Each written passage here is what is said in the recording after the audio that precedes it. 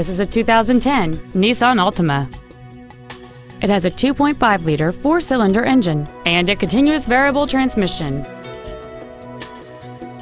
Its top features include cruise control, steering wheel mounted controls, a rear window defroster, a CD player, a multi-link rear suspension, a four-wheel independent suspension, alloy wheels, a low tire pressure indicator, a push-button ignition, and this vehicle has fewer than 24,000 miles on the odometer.